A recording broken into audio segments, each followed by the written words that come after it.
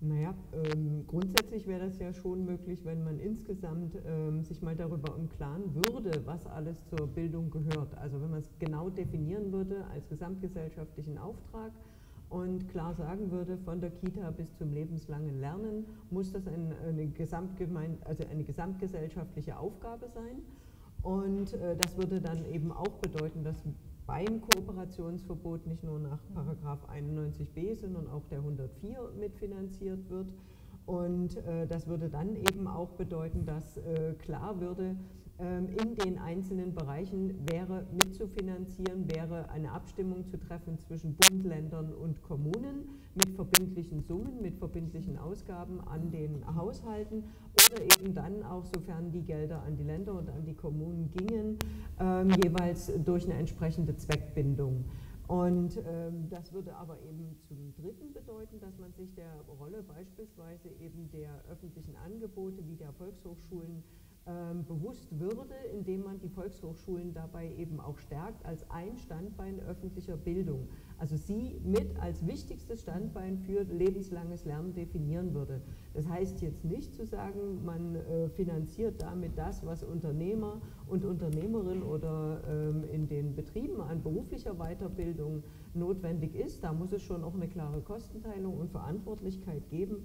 Aber das bedeutet eben, dass äh, in all den anderen Bereichen, ob das jetzt kulturelles, ob das äh, politisches, ob das ähm, auch äh, sprachliche Weiterbildung ist, dass das mit einbezogen wird, ganz zu schweigen von der Frage der digitalen Weiterbildung. Und wir haben hier in Halle eine Situation, ähm, da haben wir eben Stadtgebiete, bei denen die Kinder ähm, in, Armuts, ähm, in, in, bildungsarmen Elternhäusern, wie das so bezeichnet wird, aufwachsen mit 70 Prozent Alimentierung. und da fängt das schon ganz, ganz früh an, dass das Bedürfnis nach Lernen nicht geweckt wird, dass, das Bedürf dass die Neugier nicht geweckt wird. Und dass aus dem Grund eben später auch beim Aufwachsen nicht nur äh, Schulabschlüsse nicht geschafft werden, da gehört ja Sachsen-Anhalt mit zu den Ländern, die, den höchsten, die, die höchste Quote haben von ähm, jungen Leuten, die eben ohne Schulabschluss rausgehen und umgekehrt, die dann eben auch ähm, keine Abschlüsse in der Ausbildung erlangen, obwohl es nachgefragte, ähm, obwohl es Nachfrage gibt und äh, hier eben in dem Bereich dann auch klar ist, dass da nie eine Nachfrage entstehen wird. Das muss man, um mal in Ihrem Bild vom Anfang zu bleiben. Ähm, und das bedeutet, wer nicht gelernt hat, dass Lernen Spaß macht, der wird es auch später nicht nachfragen.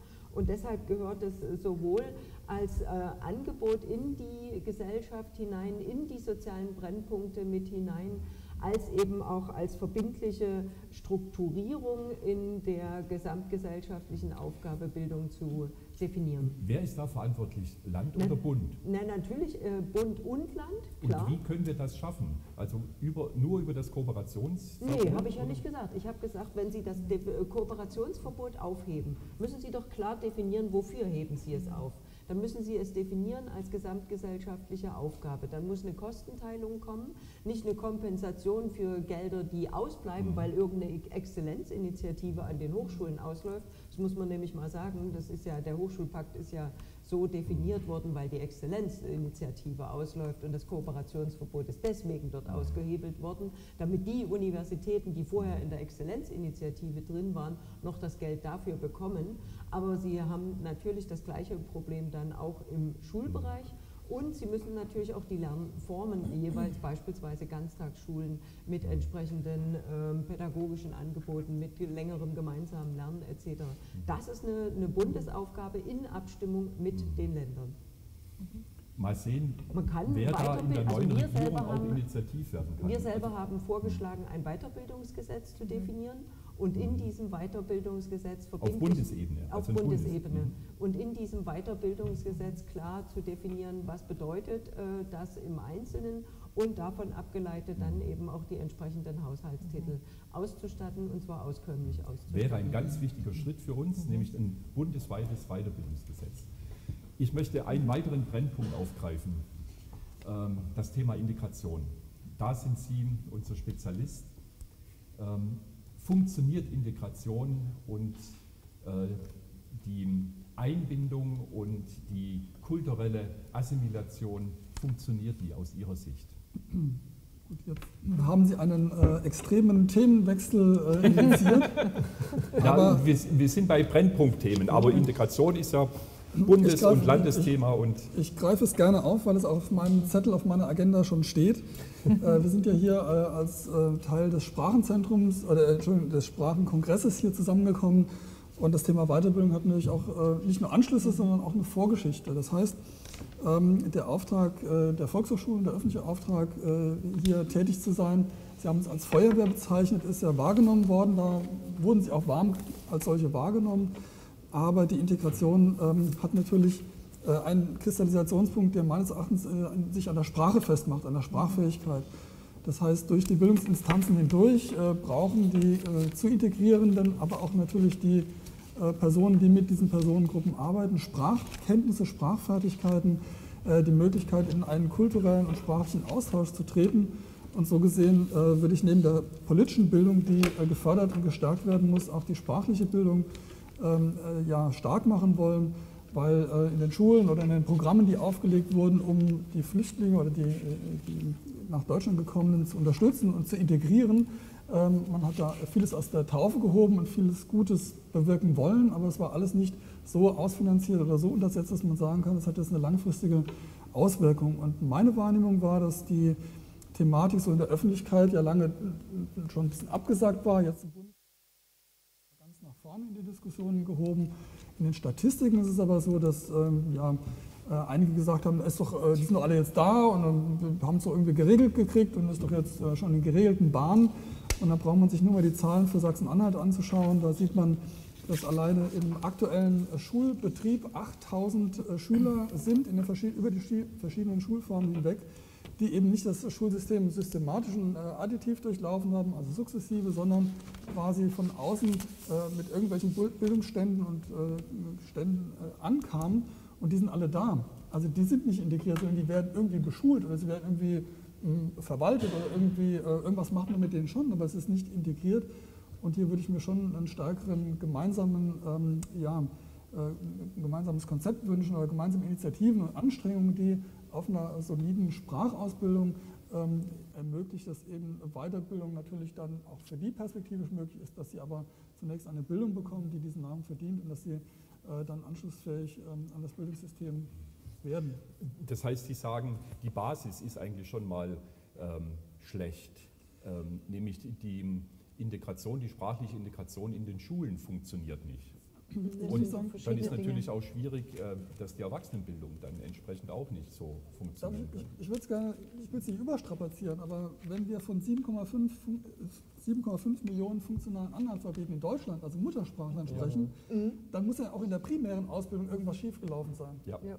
exakt. Ähm, die, die, kommen ja nicht von ungefähr, sondern die haben ja ihre Ursache in dem Bereich, äh, dass sie keinen Zugang zur Bildung, Neugier, äh, Elternhaus, da kommen ganz viele soziale Faktoren hinzu, mhm. aber es hat auch etwas mit dem Bildungssystem zu tun. Und wenn wir uns 14 Prozent einer Gesellschaft leisten, die gar keinen Anschluss äh, in dieser Hinsicht hat, äh, dann ist es eben Basis auch für politische äh, Währungen und politische ähm, ja, Zugänglichkeiten, die wir uns gar nicht unbedingt leisten wollen. Also da ist äh, im Prinzip der Ansatz, den ich. Äh, Frau Sichel. Das, das, sind ja auch nochmal zwei verschiedene Dinge, die man, glaube ich, nochmal eingrenzen muss. Ähm, ganz sicher passiert an den Schulen bezogen auf die Kinder aus den Familien der Geflüchteten eine ganze Menge, aber in erster Linie, weil die Lehrer total engagiert sind. Nicht so sehr, weil die Landesregierung das so wahnsinnig unterstützt, wenn ich an die Lehrer mit Deutsch als Zweitsprache ähm, äh, denke, wie ewig das gedauert hat, bis die befristeten Verträge verlängert wurden oder entfristet wurden oder überhaupt. Äh, und einige sind ja auch gar nicht verlängert worden, also da ist man wieder zurückgegangen. Ähm, und das Zweite ist natürlich, äh, dass dort auch entsprechend der Kompetenzen der einzelnen Kinder erstmal geschaut werden muss, wie muss denn dieser Anschluss hergestellt werden. Und ähm, bei den Fragen der Sprachausbildung, das ist ja mehr oder weniger außerhalb der Schulen passiert. Also klar, wenn die Kinder sind dann als Erste eher drin in der Sprache als die nachfolgenden Erwachsenen.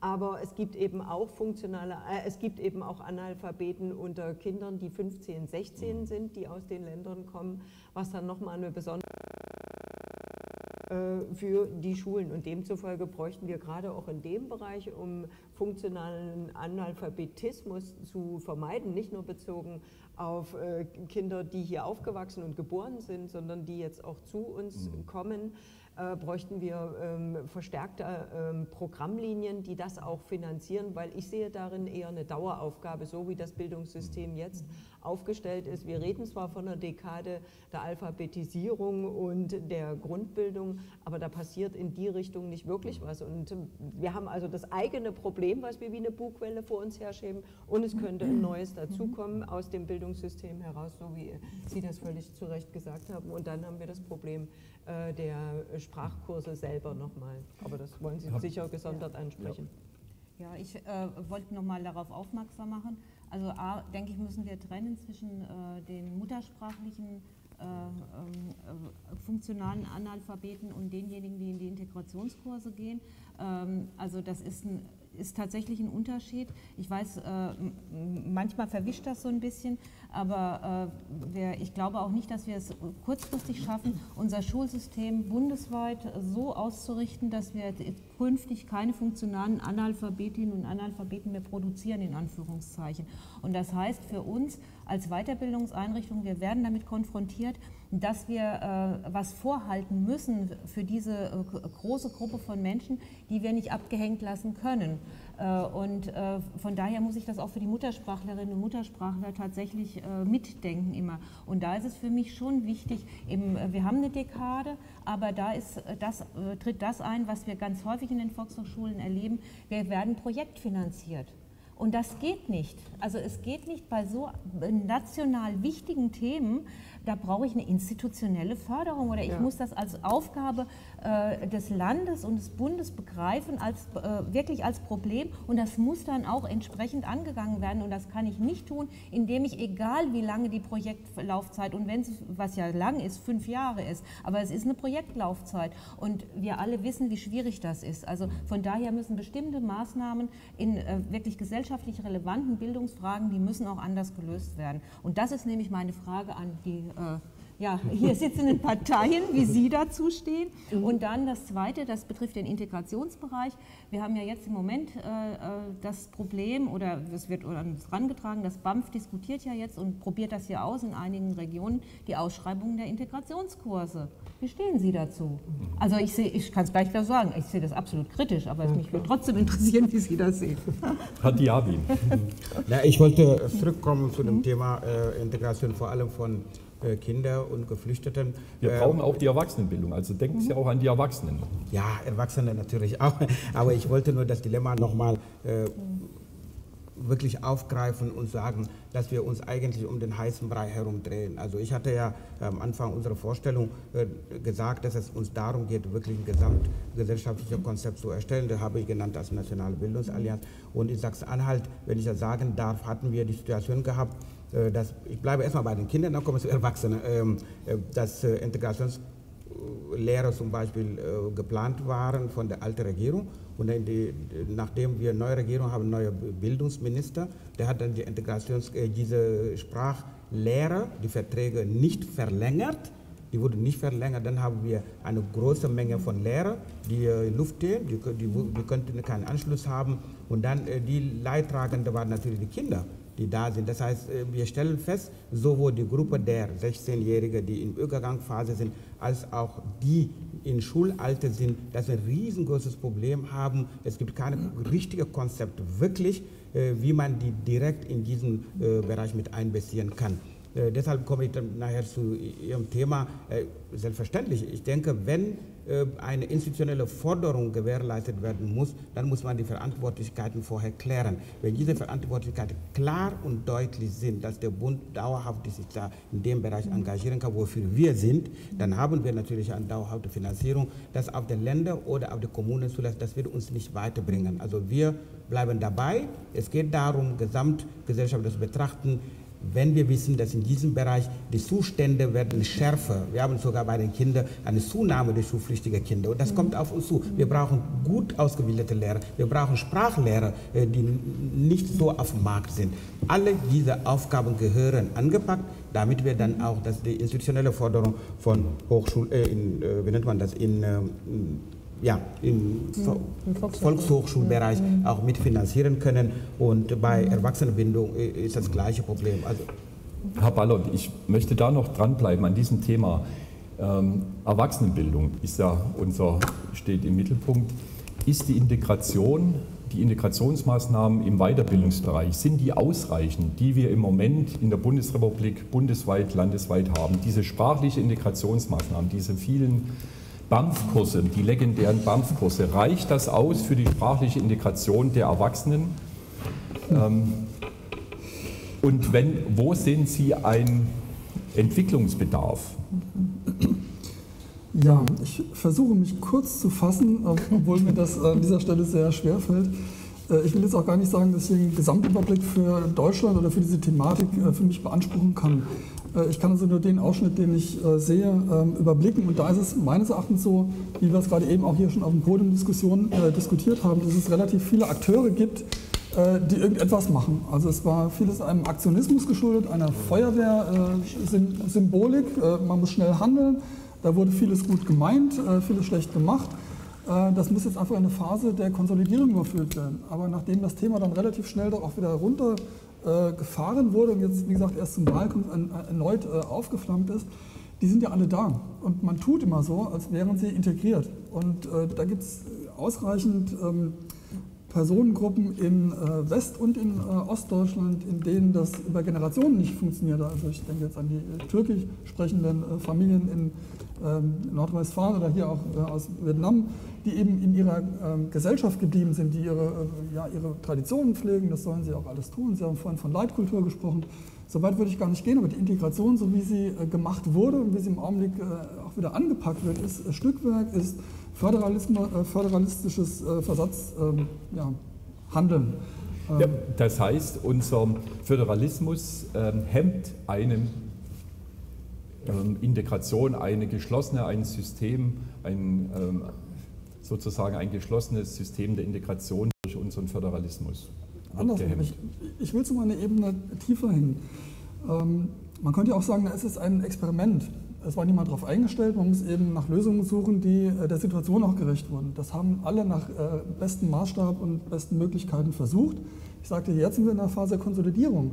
Wir wissen, sie sind da, sie kommen und man hätte jetzt die Zeit und die Notwendigkeit, äh, systematisch über die verschiedenen Bildungseinrichtungen, die wir haben, im primären, sekundären und tertiären Bereich, zu schauen, wer übernimmt welche Aufgabe, welche Kompetenzen, wie sind die verteilt, wo kommen die Gelder her. Man hätte die Möglichkeit, das zu systematisieren und in eine. Struktur zu überführen, die eine Integration, die den Namen verdient, wirklich nach sich zieht. Wer müsste da den Hut aufhaben bei diesem? Bitte?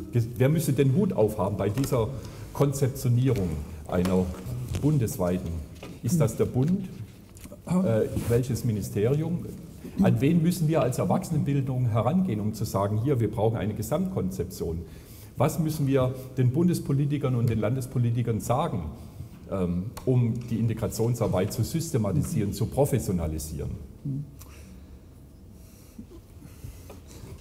Sie sehen, dass ich zögere, weil ich hier mit Ja, ja, äh, wir sind hier unter uns. Ähm, ja, also live, live hören zu oder gucken zu. Andersrum, ich, ich versuche es mal andersrum.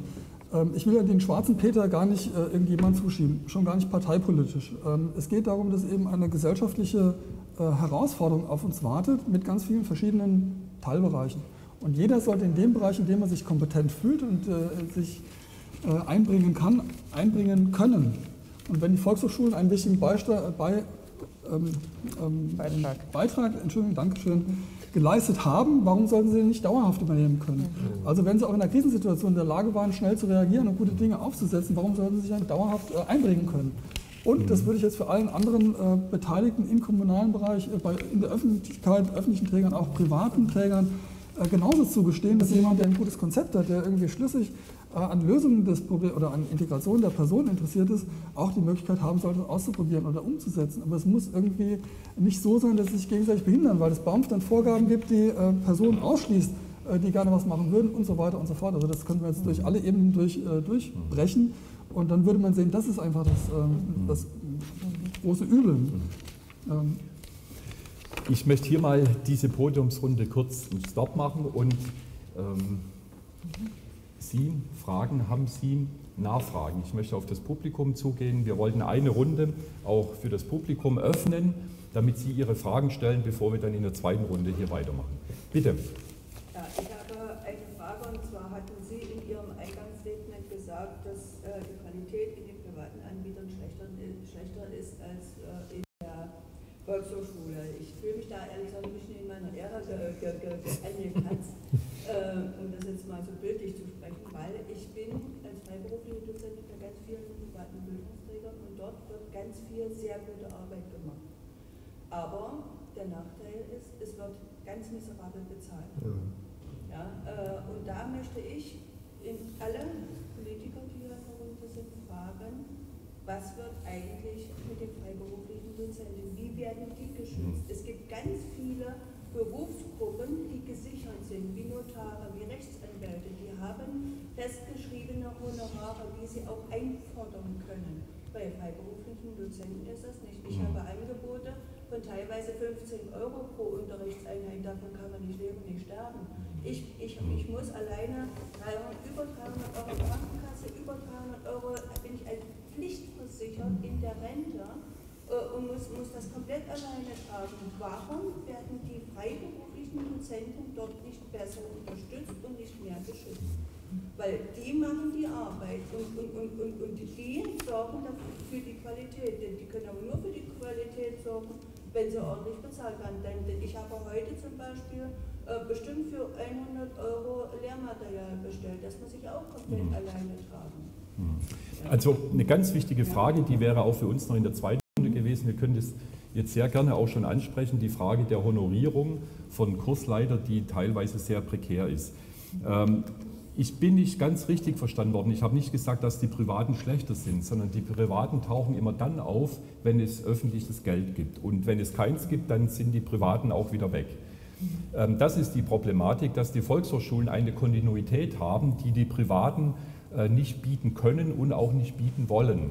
Von daher die Garantie für eine gleichbleibende Qualität finden Sie bei den Volkshochschulen. Die privaten Anbieter, die müssen immer wieder neu ihre Qualität beweisen und ähm, entsprechend tauchen sie dann auf oder tauchen nicht auf. Also ich habe nicht von schlechter oder besser gesprochen, das würde ich mir nicht ähm, erlauben in dieser Runde, sondern nur, dass die Privaten eben dann auftauchen, wenn es öffentliches Geld gibt. Und die Volkshochschulen sind auch da, wenn es keines zusätzliches öffentliches Geld gibt. Aber die ganz wichtige Frage, die Honorierung.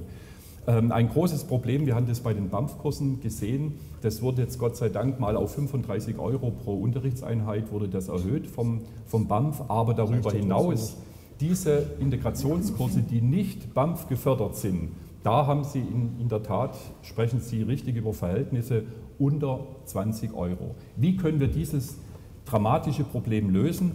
Ähm, ich sage noch eine Zahl dazu. Im Volkshochschulbereich haben wir bundesweit 200.000 Dozentinnen und Dozenten. Das, diese Frage, die Sie gestellt haben, betrifft, betreffen 200.000 Kursleiterinnen und Kursleiter nur an den Volkshochschulen. Dann kommen noch viele andere hinzu. Eine dramatische Frage, wie kann das Land, wie kann, das Bund, wie kann der Bund auf so etwas reagieren, Herr Alltag? Ist das eine Landesaufgabe? Nachdem also, äh, allgemeine Weiterbildung ja Landessache ist. Es gibt ein Weiterbildungsgesetz. Erstmal muss man sagen, wer, wer sagen wir, eine qualitätsvolle Arbeit leistet, auch als Honorarlehrkraft, der hat erstmal auch, auch verdient, irgendwie dementsprechend bezahlt zu werden. Und ich sage mal, ein Stundenlohn von 15 Euro, das ist eine Katastrophe. Und auch die 35 Euro für die BAMF-Kurse, ähm, das reicht bei weitem nicht aus, um da irgendwie sein Leben davon zu bestreiten können, ähm, die ganzen Versicherungen zu bezahlen, Sie haben es erwähnt, Lehrmittel zu bezahlen. Ähm, das ist eine katastrophale Bezahlung. Ich kenne das selber. Ich habe jahrelang war ich Lehrbeauftragter an der Hochschule hier in Sachsen-Anhalt. In Bernburg, ich habe 25 Euro die Stunde gekriegt und musste dann noch von Halle nach Bernburg fahren und wieder zurück. Und vorbereitet habe ich mich da auch noch nicht davon. Das ist also, also nicht machbar. Das kann man alles nur im Nebenjob dann irgendwie machen oder verteilt auf viele, viele Jobs. Und ich glaube, da, ähm, das führt dann wieder dazu, dass die Qualität äh, darunter leidet, mit der dann die ähm, Honorarlehrkräfte dann an die entsprechenden Weiterbildungseinheiten Bildungseinrichtungen gehen können und dann auch entsprechend ihr Wissen weitergeben können. Ähm, von daher müssen wir da auf jeden Fall sorgen, äh, ähm, dafür sorgen, dass dort ähm, mehr äh, Geld reinfließt und auch entsprechend die Weiterbildungseinrichtungen unterstützt werden, um dann entsprechend auch die Honorarkräfte dann auch bezahlen zu können. Gar ist keine das Frage. Das ist, glaube ich, auf allen Ebenen eine Aufgabe. Erwarten Sie von mir da jetzt heute kein, kein Patent, Aber keine Ahnung. Wo ist der Hebel da? Könnte der Hebel nicht sein, das Weiterbildungsgesetz? Wir haben ja 16 Weiterbildungsgesetze in den Ländern. Hm. In diesem Weiterbildungsgesetz auch stärker die Absicherung der Kursleiterinnen und Kursleiter mit zu verankern. Mit Sicherheit. Das ist eigentlich die, Sicherheit das, Förderinstrument. Ist, das ein, ist das ein Instrument, das man bedienen kann? Ähm, da brauchen wir jetzt noch die nötigen Mehrheiten dafür, um da was zu ändern und dann ähm, kann man das durchaus anpacken. Und Sie sehen ja, Aber welche Parteien heute hier sitzen und ähm, die, die die Mehrheit haben und mitentscheiden, die sitzen heute nicht am Tisch. Ja, aber da sind wir doch auch wieder in dem Mottos, wir prüfen mal. Und dann bleibt es wieder ähm, auf der langen Bank. Also ja. Sie sehen auch, ich glaube, das kommt deutlich raus, wie schwer es wir in der Erwachsenenbildung, in der Bildungspolitik insgesamt haben. Wir kommen immer wieder auch auf die Schule und dort ist ein Ansatzpunkt zu sehen und dann werden wir nebulös, wenn es um die Erwachsenenbildung geht. Mhm. Also welchen großen Handlungsbedarf sehen wir? Und ich glaube, der wird heute sehr deutlich auch bei Ihnen bei Ihren Kommentaren, bei Ihren Statements dazu. Frau Sittem, das mhm. Problem der Kursleiterhonorierung auf Bundesebene. Also man muss ganz klar feststellen, dass in diesem Gesetz auch dargestellt bzw. geregelt werden muss, festgestellt werden muss, dass Weiterbildung eine Daueraufgabe ist mit besonderem gesellschaftlichen Interesse. Und äh, das bedeutet, dass es auch einer anderen Philosophie folgen muss, als das bislang der Fall mhm. ist. Das heißt, man muss äh, nicht nur die Träger entsprechend angemessen finanzieren, also beispielsweise die Pauschale dann entsprechend festlegen, als eben auch die Vergütung der Lehrkräfte äh, klar regeln ähm, und dann eben auch entsprechend der ähm, Entwicklungen anpassen. Ähm, wir haben ja auf einem anderen Feld, wird es ja auch gemacht gegenüber den Privaten. Wenn Länder Vergabegesetze erlassen, dann verlangen sie von dem Anbieter nach der Ausschreibung, dass sie äh, tarifgerecht bezahlen. Also müsste man für diese Bereiche eben auch ein Basis- oder ein Mindesthonorar festlegen. Wir sind gerade dabei als Fraktion, im Zuge der Befassung mit äh, Selbstständigen, Solo-Selbstständigen, die einzelnen Branchen mal durchzuklopfen, wie könnte denn ein branchenbezogenes Mindesthonorar funktionieren, das eben nicht nur ein Existenzminimum absichert, sondern am Ende wirklich die Profession absichert mit all dem, was für diese Leistung äh, notwendig ist und äh, das würde dann eben in dem Falle auch mit dazugehören. Wir haben im vergangenen Jahr im Haushalt gerade mit Blick auf die Integrationskurse 300 ähm, Millionen Euro mehr gefordert, ähm, weil eigentlich am Ende immer wieder auch festgestellt wurde, dass ähm, Integrationskurse ja viel mehr sind als nur sozusagen ein Stück Vermittlung äh, dessen, was in Deutschland kulturell und ähnliches stattfindet und insofern auch noch viel mehr Kompetenzen von den entsprechenden Lehrkräften abgefordert wird. Das würde bedeuten, aber auch beim BAMF nicht die gleiche Vergabephilosophie zu verfolgen, wie das bei der Bundesagentur für Arbeit war. Die haben nämlich immer den Auftrag gehabt, möglichst wenig Geld preiswert einzukaufen und äh, dann haben wir die bizarrsten Konstrukte gehabt, Anbieter, die Subunternehmer genommen haben, die aber ja. vorher wiederum dort schon mal einen Auftrag hatten und lauter so eine Geschichten. Und damit ist natürlich ein Lohndumping und überhaupt ein Dumpingwettbewerb begründet worden in dem Bereich, bei dem natürlich dann am Ende mancher Träger, auch privater Träger, gar nicht in der Lage war, die Leistung zu bringen, weil er sich selber runtergerechnet hatte und das nicht mehr, ähm, nicht mehr ähm, bringen konnte ähm, die Leistung nicht mehr bringen konnte. Also das bedeutet eben schließlich auch zu dieses Honorar so festzulegen, dass, die, dass das Ankommen in den Sicherungssystemen möglich ist. Also sowohl was Krankenversicherung genau, anbetrifft, was, was, was äh, Rente anbetrifft. Also wir haben ja mittlerweile Selbstständige oder Freiberufler, das sind ja viele von ihnen, die ähm, mehrere, im fünfstelligen Bereich ähm, Schulden gegenüber der Krankenkasse haben. Und wir haben eben gesagt, dass die Ausgangsbasis, von der aus man diese äh, äh Beiträge definiert hat, bestimmt hat, ist einfach nicht die Realität in diesem Land kam. Das Leben daher und war anders. Also muss man es orientieren an den tatsächlichen Einkommen, das äh, dort realisiert wird. Und äh, das Gleiche gilt dann eben auch für die Frage der Rentenversicherung. Ähm, das wird äh, gerade im Zusammenhang auch mit der Digitalisierung nochmal eine Riesenrolle spielen, weil wir eben in dem Bereich, Sie sagten vorhin 200.000 äh, bundesweit, soweit es im engeren Kontext der Volkshochschule betrifft. Aber wir haben insgesamt fast 5 Millionen in dem Bereich zu sitzen, die in irgendeiner Weise davon betroffen sind.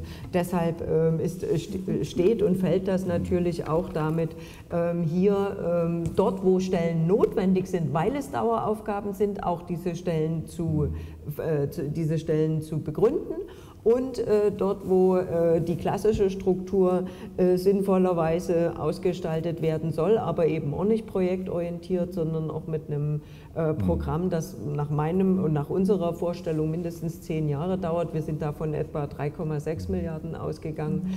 Mhm. 3,6 zur Absicherung von ja, Kursleitungen ja, und ja, sind wir, damit es also eine dauerhafte und verlässliche Komponente bekommt. Mhm. Ich würde gerne das Stichwort Weiterbildung Sozialkasse mal in den Raum werfen. Das ist nämlich eine, äh, ein Punkt, über den der Deutsche Volkshochschulverband äh, sehr stark diskutiert, ob das eine Möglichkeit wäre, um Kursleiterinnen und Kursleiter anders abzusichern als bisher, analog zur Künstlersozialkasse. Mhm. Also wir sind da noch nicht zu so einer richtigen Meinung, haben uns da noch nicht so durchgerungen, aber wir wollten das mal tatsächlich in die Diskussion mhm. werfen, ob das eine Möglichkeit wäre. Mhm, wir, haben, wir sind auch am Grübeln, weil wir kommen in, in, in dem Kontext der anderen Branchen äh, in diese Diskussion ja auch rein. Ich höre auch immer wieder den Satz, von Leuten, die in diesem Bereich tätig sind, die intrinsisch tätig sind, äh, von Künstlern und Künstlerinnen, ach, wenn ich doch dieses Grundeinkommen hätte, ähm, dann wäre mein Problem schon mal gelöst. Aber das kann ja nicht wirklich die gesellschaftliche Antwort auf so eine Unterfinanzierung von solchen Bereichen sein. Ähm, deshalb Weiterbildungskasse würde aber bedeuten, dass wir neben der Künstlersozialkasse ja. wieder einen Sonderstrang ja. füllen. Wir wollen aber eigentlich die gesetzliche genau. stärken, also die öffentliche Verantwortung dafür stärken. Ähm, und auch die Künstlersozialkasse hat für bestimmte Beschäftigte in diesen Branchen mittlerweile echte Probleme. Und deshalb sind wir eher schaumgebremst, was die Schaffung eines neuen mhm. Sondersystems anbetrifft. Herr Diaby, mhm. was kann die SPD ähm, ja. als Antwort der Kollegin? Ich wollte das im Zusammenhang mit zwei Ideen äh, bringen, wo ich äh, eine mittel, mittelfristige Lösung sehe.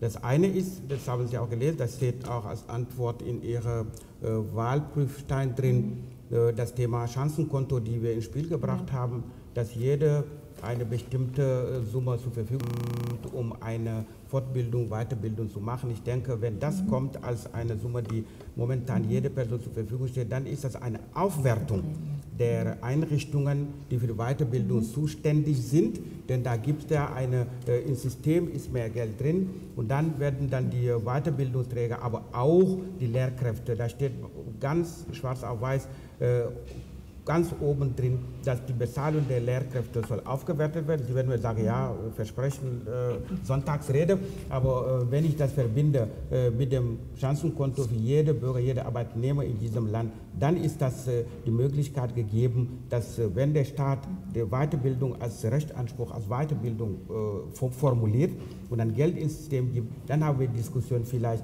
anders, als wenn das Geld überhaupt nicht da ist. Das ist meine Hoffnung, dass wir in diesem Zusammenhang und äh, das andere Thema, womit ich das in Zusammenhang bringe, ist äh, die Idee, äh, die Bundesagentur für Arbeit nicht als äh, Agentur für Arbeit, sondern als Agentur für Arbeit und Qualifizierung. Und diese Qualifizierung passiert ja in den Weiterbildungseinrichtungen, bei Volkshochschulen und mhm. andere. Wenn der äh, Agentur für Arbeit diese Mittel zur Verfügung gestellt bekommt und das heißt nicht nur äh, irgendwo in eine Einrichtung zu gehen, Computerprogramme zu lernen, sondern eine wirklich fundierte Qualifizierung, die auch mit äh, verbindlichen Summen mhm. verbunden sind, mache ich mir die Hoffnung, dass wir in der Sache Bewegung bekommen. Absicherung, das war auch ein Thema. Es ist ja die Überlegung, also das, was Sie gerade angesprochen mhm. haben, ähm, ja, Künstlersozialkasse war ein Modell, die man bei uns auch mitdiskutiert, dass man vielleicht in Anlehnung an Künstlersozialkasse, ob man auch das in diesem Bereich, aber wie bei Ihnen, bei uns die Diskussion auch nicht abgeschlossen, weil keiner will sich äh, wirklich auf den Weg machen für einen nebulösen Vorschlag, der nicht durchgesetzt werden kann. Deshalb Diskussionen laufen noch. Ich denke, es ist ein ernstzunehmendes Problem, äh, weil äh, Altersarmut wenn man darüber redet, in Deutschland kommen sehr, sehr oft Menschen, die im selbstständigen Bereich tätig waren, Menschen, die als Lehrkräfte irgendwo tätig waren, die plötzlich stehen da und die sind äh, in, äh, äh mit äh, Altersarmut bedroht. Mhm. Deshalb ist das ein Thema für uns, dass wir sagen, äh, Einbeziehung dieser Menschen äh, ins Sozialsystem, dass wir auch mit einzahlen, wenn sie nicht knapp an der Kasse sind, aber auch die Möglichkeit, diese Bezahlung anzuheben mit den neuen Strukturen, die ich gerade vorgeschlagen habe. Also das sind zwei Ideen, die stehen woanders, aber die haben mit ihrem Thema zu tun, weil wir das Ganze als Gesamte auch sehen. Ich weiß nicht, ob das befriedigend ist als Antwort. Ja, Frau Sitte. Eine kleine Geschichte ist noch aufgefallen. Ähm, wir haben als Stadtrat uns ja auch immer zu bemühen um die Honorarordnung für die Volkshochschulen und dann davon abgeleitet, die Summe äh, im Haushalt einzustellen. Das heißt, es mhm. würde auch eine Aufgabe auf kommunaler Ebene entstehen.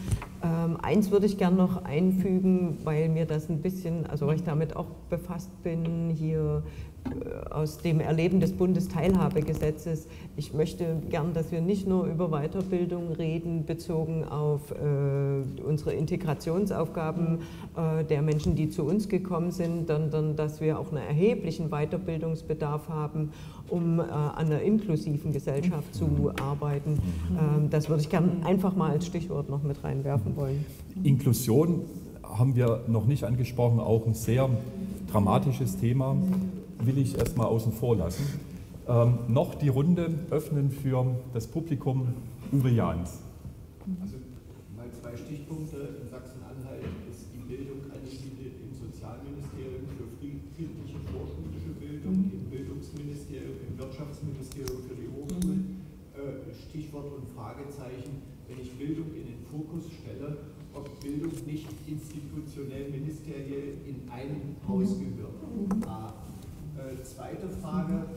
Äh, wir haben eben das Modell äh, Künstlersozialkasse diskutiert. Wäre es vorstellbar, ähm, irgendwie eine Regelung dahingehend einzuführen, dass jedes Einkommen in dieser Bundesrepublik sozial und abgabepflichtig ist und damit die Systeme auch eventuell so finanziell ausgestattet sind, dass hier entsprechend ähm, eine ordentliche Rente später gezahlt werden kann, als Fragezeichen. Also vielleicht die erste Frage nach der Zuständigkeit, nach der ministeriellen Zuständigkeit. Nein, Vereinheitlichung, wenn ich Bildung in den Fokus stelle, gehört Bildung in ein Haus, mhm. ministeriell. Ähm, ansonsten zerpflücke ich das und äh, die mhm. Ministerien äh, untereinander, äh, auch die eingerichteten interministeriellen Arbeitsgruppen, haben einen überschaubaren Erfolg hm. mindestens in Sachsen-Anhalt Herr Alltag. Ja, Sie haben das ja gerade schon, schon, ganz gut äh, dargestellt, wie das ist. Ähm, verschiedene Zuständigkeitsbereiche in den verschiedenen Ministerien. Und ich erlebe das ja fast tagtäglich mit. Ähm, sitze ja selber mit im Bildungsausschuss, ähm, wie schwierig das manchmal ist und sich die einzelnen Ministerien die Zuständigkeiten dann hin und her schieben. Und wir kommen dann letztendlich in der Diskussion in vielen Bereichen nicht, nicht vorwärts. Ich glaube, dass es gut wäre, ähm, das in ein Haus äh, zu setzen. Jetzt muss ich gerade überlegen, ob ich das so sagen darf, wie ich sagen will. Es wird dokumentiert, was Sie sagen. Also. Ich bin mir gar nicht sicher, ob es in dem Haus, wo es hingehört, gerade richtig ist. Vielleicht so viel mal dazu. Ja, das stimmt. Aber das System muss auch ohne Person funktionieren. Dabei belasse ich es dann. Ja. ja, wir haben das äh, Thema aufgegriffen äh, in dem Zusammenhang, dass wir gesagt haben, für diese genannte Nationale Bildungsallianz, dass wir äh, äh, so eine IMAG, also Interministerielle Arbeitsgruppe, in dem eine Abstimmung stattfindet zu Förder Förderungskonzepte und Weiterbildungsinstrumente und dann das auf nationaler Ebene praktisch das auch in diese Bildungsallianz mit einbeziehen, auf, das, auf Bundesebene auch die Abstimmung mit den Ergebnissen der Landes-IMAG dann zusammengeführt wird. Ich habe gute Erfahrungen mit solchen äh, interministerielle Dinge. Als ich im Sozialministerium gearbeitet habe, saß ich da in der IMAG Integration, also äh, Inter interministerielle Arbeitsgruppe mhm. Integration. Das war hervorragend. Denn äh, wenn man sich damit beschäftigt, dann sieht man, dass auch der Fokus auf ein bestimmtes Thema gelegt wird. So, wenn man dann, äh, was weiß ich, Ministerium für Landwirtschaft und Umwelt einlädt zum Thema Bildung, dann plötzlich stellt man fest, dass Bildung ist überall. Mhm. So im Verkehrsministerium würde man wirklich das Thema Bildung ja. wahrscheinlich nur nebenbei, wenn man die einlädt mit anderen Ministerien zusammen, dann findet man sofort einen gemeinsamen Nenner. Deshalb wiederhole ich nochmal, Werbe für unsere Idee für eine Nationalbildungsallianz und eine Nationalbildungskonferenz, damit wir dann wirklich diese Bündelung auch äh, zusammen auch nach vorne bringen können. Das ist das, was wir vorhaben, auf alle Fälle. Mhm. Na, das klingt alles ganz gut, aber äh, das hat das Problem, du brauchst eine klare Zuweisung in Haushaltstitel. Ja. Ähm, und deshalb bin ich schon der Meinung, dass du es an einem Punkt festmachen musst, wo diese Dinge dann eben auch äh, klar adressierbar sind und äh, dann kann man sich aus den anderen Bereichen dort äh, die Leute heranziehen aber sonst wird das so ein, so ein, äh, ja, so ein Schulterklopfertermin mit Geschwurbel. Äh, deshalb äh, bin ich natürlich der Meinung, dass das alles ins Bildungsministerium gehört, egal äh, wer da. Ne? Ähm, und sonst fängst du wieder an, als Bittsteller in, in anderen Ministerien, vor anderen Ministerien äh, zu hocken, um die zu bitten, dass die das Geld dann einstellen. Also das ist so meine Erfahrungswelt äh, aus den Bundeshaushaltsdebatten wenn du das nicht klar irgendwo festklopfst und damit auch eine ministerielle Autorität damit verbindest, ähm, nun haben wir noch nicht regiert auf Bundesebene, aber. Ihr wollt ja nicht. Wir wollen, klar. Ihr seid zu feige, wir hatten die Mehrheit. So, wir reden nachher später der Nacht. Okay, also das ist so mein. Ge also ich finde das besser, es verbindlich zu regeln. Gibt es noch weitere? Bitte, ja. Der, ah, okay, dann die zweite Frage. Nochmal zur, als Stichwort. Das generell Einkommen in dieser Bundesrepublik der Sozialversicherungspflicht unterliegt. Ja, ja, vom ersten Einkommen. Tag an. Alle Einkommen. Äh, ja, ist ja, glaube ich, im Moment nicht der Fall. Nein. Äh, ist das ein politisches Ziel Ihrer Partei? Bei uns klar, ja. Ja, bei uns auch. Ja, und Diaby? Ja, auch. Mhm. Oh, oh, oh. Wann wird es umgesetzt und wie? Wenn wir regieren. Ah, das, das hören wir immer. Und dann kommt der Fraktionszwang und der Koalitionszwang. Und Koalition und, und keine Fraktionszwang. Nicht. Und, ah, Aber Gott, bitte, gibt keine Dann sperrt sich wieder ja. die CDU. Bitte, und, ja.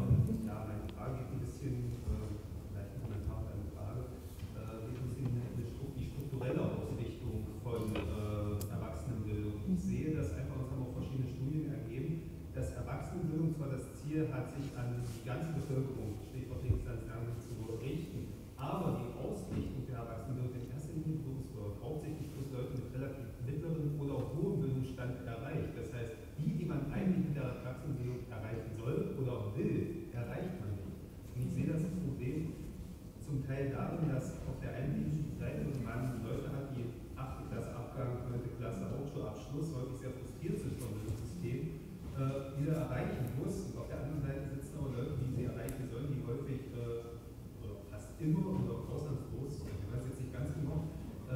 Hochschulabschluss oder einen akademischen Abschluss haben. Das heißt, sie haben eigentlich gar keinen Rückbezug auf diese Gruppe, die eigentlich frustriert ist von Bildung und Bildung eigentlich als etwas sehr Negatives erlebt haben. Und da ist halt auch die Frage, wäre es nicht auch irgendwie, und das wendet sich jetzt an professionellen aber auf dem Podium, äh, wäre es nicht sinnvoll, auch mal zu schauen, äh, ob äh, man vielleicht auch hier Incentives setzt oder Anreize setzt für eine Form der Didaktik oder der Verbesserung der Didaktik, dass man sich stärker rückconnectet äh, mit Leuten, die auch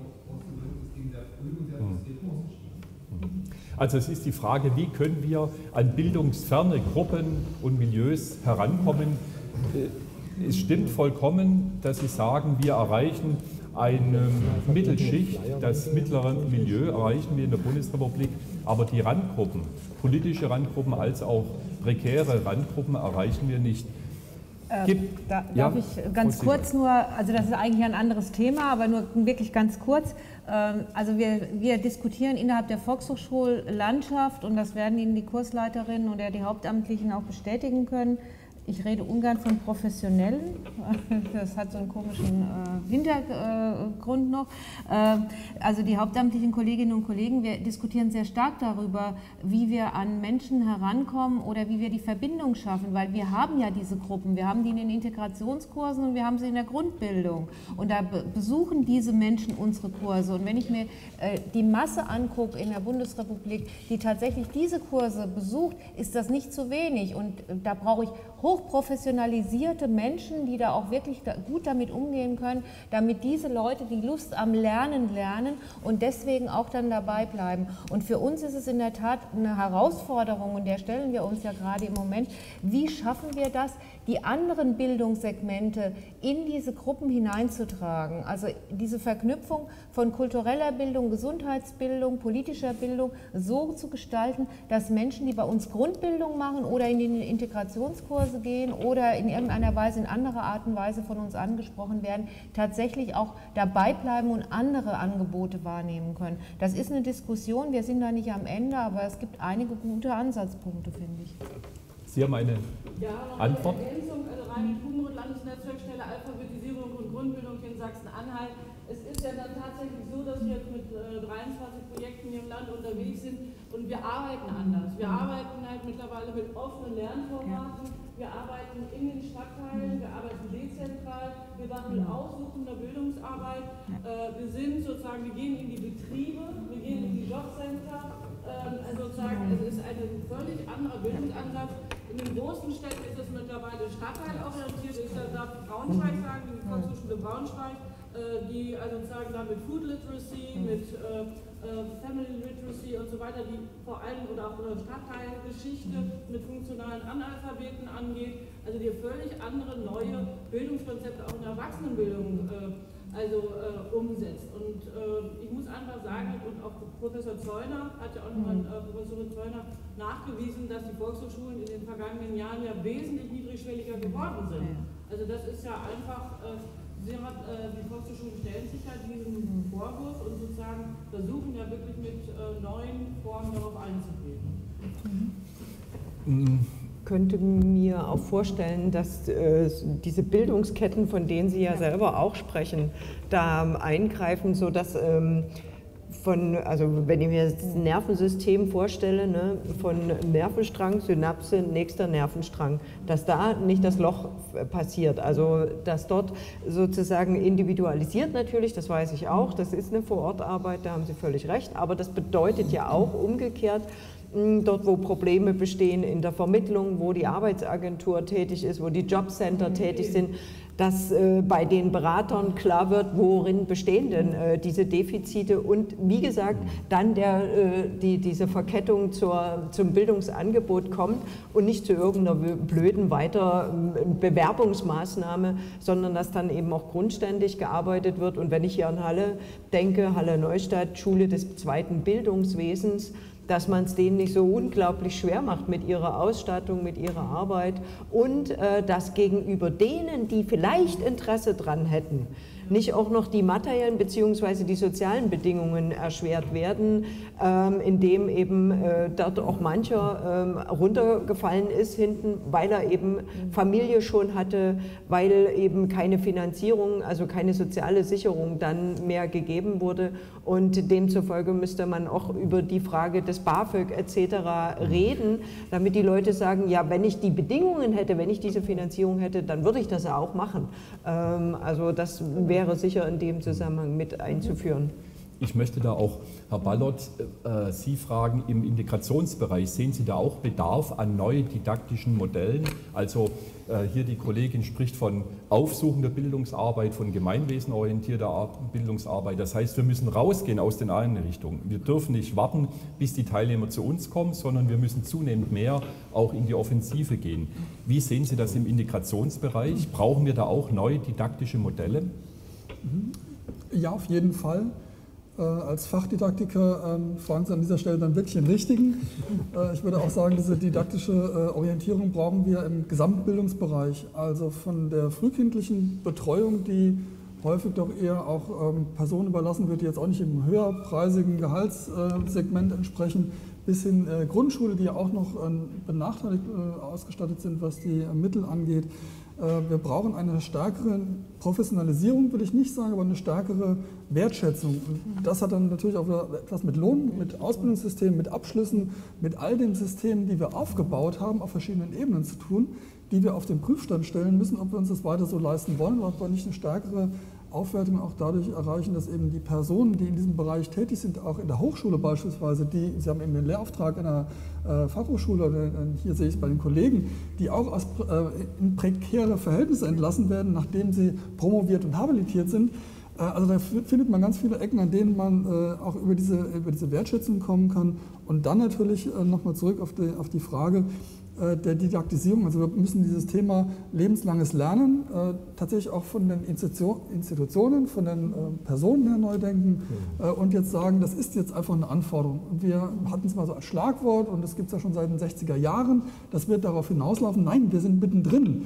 Äh, und jetzt würde ich nochmal auf den Bereich, den ich dann wirklich gut überblicke, kommen, nämlich den der Lehrerbildung. Da haben wir auch die erste Ausbildungsphase, wir haben die zweite Ausbildungsphase und auch da gibt es eine Art Lehrerweiterbildung. Die ist wieder getrennt organisiert die äh, aber im Prinzip auch nach einem äh, Erwachsenenbildungsmodell äh, des mhm. Angebots, ich biete Angebote und ihr sucht euch danach, operiert. Auch da ist meines Erachtens genau dieser Schwenk nötig zu sagen, was sind denn jetzt die sinnvollen Angebote und was sind die Bedarfe, von denen wir wissen, dass es sie gibt, aber die werden gar nicht mit den Angeboten, die halt von Jahr zu Jahr weitergeführt werden, untersetzt. Also da mhm. würde ich an ganz vielen Stellen anfangen wollen, zu sagen, ja, wir brauchen eine starke stärkere Didaktisierung. Wie können wir da in Kooperation kommen mit Ihnen? Gibt es da Möglichkeiten? Gleich, Herr Diabin, also wie können die Wissenschaft, die Hochschule mit den Volkshochschulen, mit den Trägern diese Frage auch diskutieren? Gibt es da Foren, gibt es da ähm, Dialogformate, wo man das gemeinsam, so Ihre Impulse, die wir mit umsetzen können, gibt es da in ähm, in Halle, in Sachsen-Anhalt entsprechende Formate, wo dieser Dialog geführt werden kann zwischen Wissenschaft, Didaktik und Praxis? Oder soll, ist das eine Aufgabe? Ähm, ja, Sie, Sie, sprechen etwas an, was ähm, ein, ein, ein, weites Feld ist, aber äh, auch ein vermintes Gelände. Also, ähm, ich hatte ja vorhin schon gesagt, dass ich niemandem schwarzen Peter zuschreiben möchte. Die Bildungslandschaft ist, wie sie ist über den Föderalismus, über die verschiedenen äh, äh, kommunalen Ebenen und Bildungsebenen. Ähm, ich glaube, wir brauchen hier eine, eine, Plattform, auf der genau diese Fragen diskutiert werden. Äh, Sie hatten es doch eben so schön gesagt, dass in dem Positionspapier die äh, Volkshochschulen gar nicht auftauchten. Mhm. Ja, also ganze Bildungsbereiche sind ausgeblendet, weil jeder auf seinen eigenen Bereich schaut, was ja auch nachvollziehbar und auch legitim ist.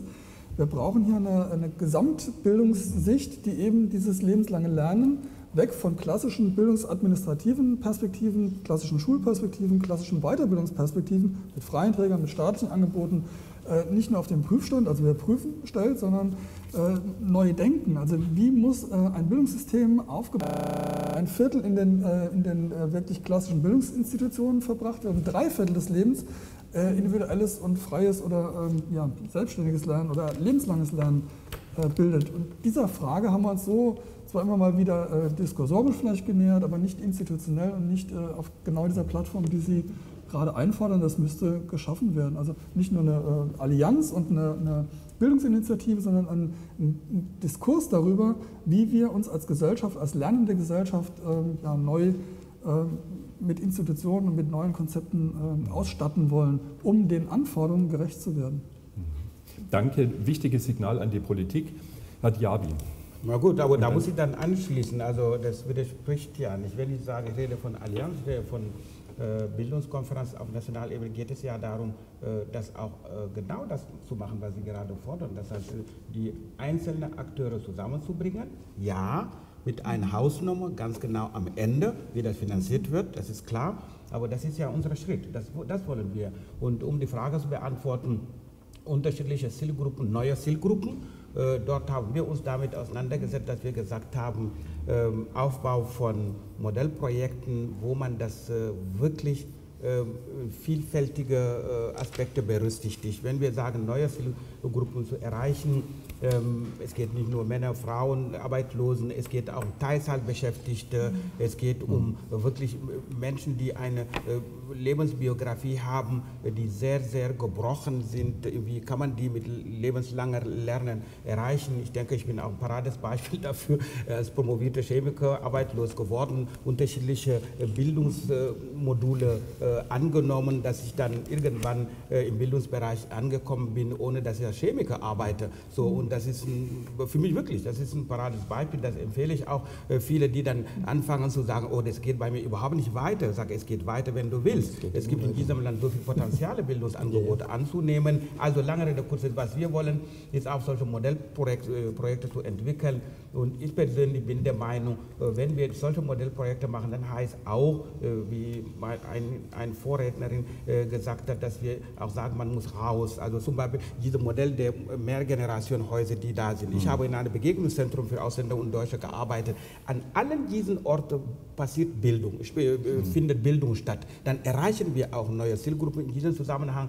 Deshalb stehe ich dazu, dass wir sagen, soziale Stadt. Wir haben Forderungen, die da sind. Wir haben Mehrgenerationenhäuser, die gefordert werden. Wir haben Zentren, die gefordert werden. Dass man in diesen Einrichtungen auch dort Bildung als Schwerpunkt der Arbeit dort mit eintragen, dann erreichen wir auch neue Zielgruppen. Und das ist dann das, was äh, mich umtreibt. Wie gelingt es uns, das nach vorne zu bringen, auch unter Berücksichtigung der äh, Herausforderungen in ländlichen Räumen. Wir wissen ja, dass in Halle hast du eine Volkshochschule, aber in äh, Mansfeld-Süharz oder was weiß ich, in Altmark, wenn wir von Sachsen-Anhalt reden, äh, ich weiß jetzt nicht, wo die Volkshochschulen sind, wenn die dann von weit weg in Stendal gehen muss, vielleicht komme ich gar nicht dazu. Also wir müssen dann überlegen, wie gelingt es uns denn, äh, den äh, ländlichen Raum um mit einzubeziehen in unsere Überlegungen, Bildung attraktiv zu machen, Bildung verfügbar zu machen für alle. Und das sind dann äh, die Ideen, die da, äh, da drinstehen, wenn ich sage Aufbau von Modellprojekten.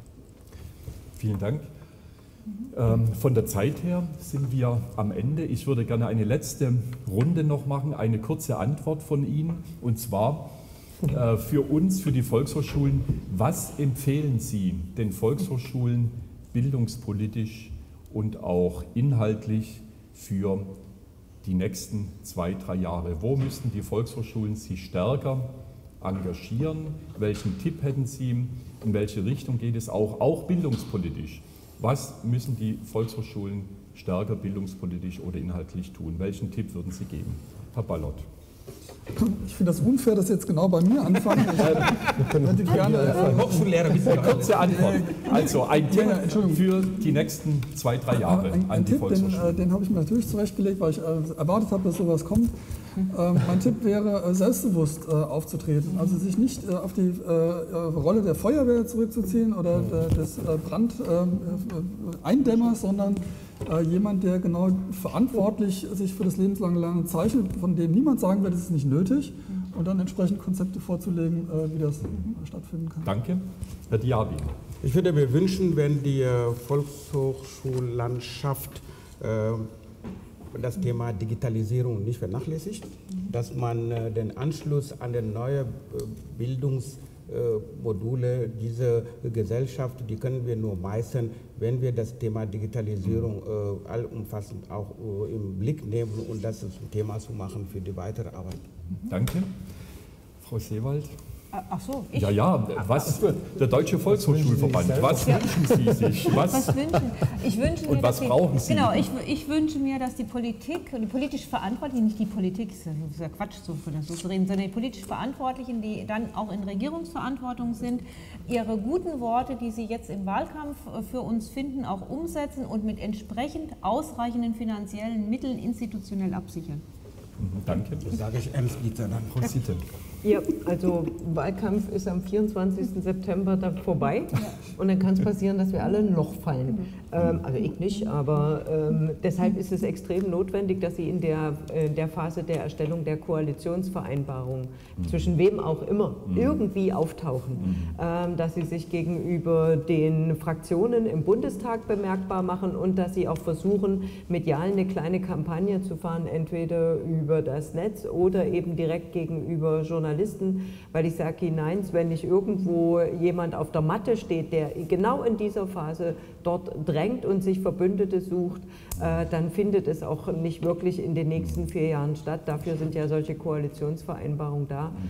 Eine gute Phase, das innerhalb des Oktober ähm, zu machen. Danke. Ja, mein Tipp ist vielleicht ähm, weiter für ähm, Weiterbildung zu werben. Gehen Sie raus, suchen Sie neue Formate, sprechen Sie die Leute direkt an, weil ich glaube, für viele ist es selbstverständlich. Man lernt irgendwie in der Schule, macht dann sein Abitur, geht dann in den Beruf und das macht man dann sein Leben lang und kommt gar nicht auf die Idee, dass man sich noch weiterbilden muss, weil man ja denkt, man sitzt an seinem Arbeitsplatz und das mache ich dann bis an mein Lebensende. Das kann aber immer ganz schnell vorbei sein. Deswegen mein Tipp, wie gesagt, gehen Sie raus, werben Sie für Weiterbildung.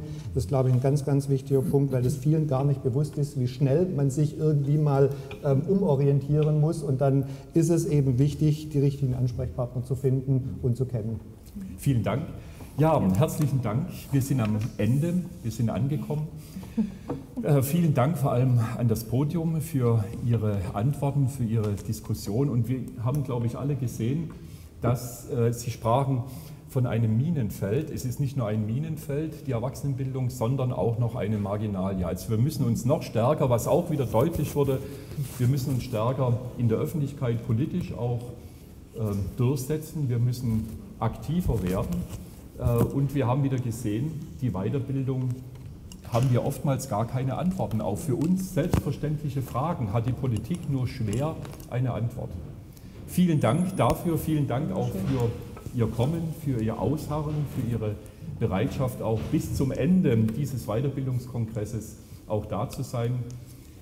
Ich wünsche Ihnen nicht nur ein schönes Wochenende, sondern vor allem auch eine erfolgreiche Erwachsenenbildung. Auch Ihnen, wie gesagt, nicht schlecht, sondern anders. In diesem Sinne herzlichen Dank für Ihr Kommen und ein schönes Wochenende.